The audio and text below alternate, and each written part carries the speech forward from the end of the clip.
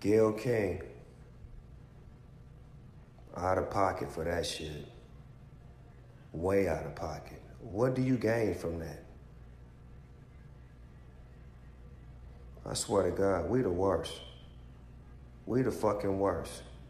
We expect more from you, Gayle. Don't you hang out with Oprah? Why y'all attacking us?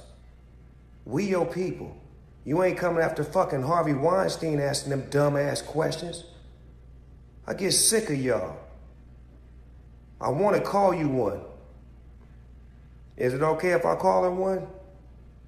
Funky dog head bitch. How dare you try to tarnish my motherfucking homeboy's reputation, punk motherfucker? Respect the family and back off, bitch, before we come get you. Yes, to my people, if you're now tuning in and you know trying to figure out what's this is all about, this brewing saga is like a cup of coffee right now brewing at your favorite coffee shop. This is Harvey Weinstein on the left and Gayle on your right. Gayle is Oprah friend and her name is Gayle King. That's Gayle King in focus right now. And she had an interview on CBS with Lisa Leslie, which is Kobe friend.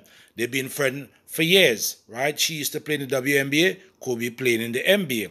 Now, Oprah, who is Gayle King friend, actually good friend, you know, um, it seems to be something been going on for years. It was only now people talking about why are they targeting us, but they've been doing that according to some people, right?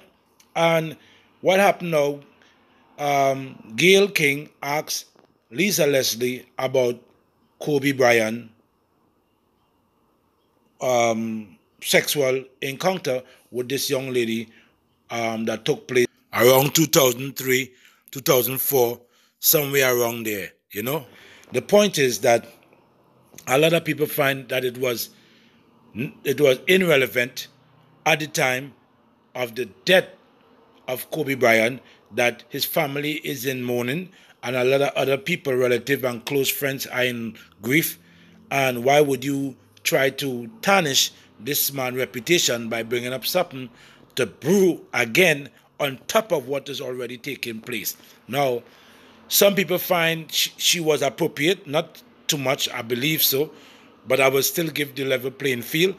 And a lot of people find that she was being disrespectful and inconsiderate. So, this is what I have to say. So, Gayle posted the question to Lisa Leslie Do you think his legacy is complicated because some are saying his, his legacy is complicated because of sexual assault charges that was in 2003 2004 and that sent Snoop Dogg and other celebrities through the wall because they find now at the end of the day yes these things probably might have taken place. But Kobe is dead and gone, and you had ample time to ask Kobe these type of questions. Why you don't ask Harvey Weinstein, the person who you and Oprah is friend? As you can see, Gayle in a picture here with Harvey Weinstein. It even bring out Bill Cosby. And also make Boosie Badass had to put a foot in it. So here's Boosie about this. Gayle King why the fuck would you ask some shit like that? I don't give a fuck who friend it is. I don't give a fuck she can uh, Obama. Uh-oh.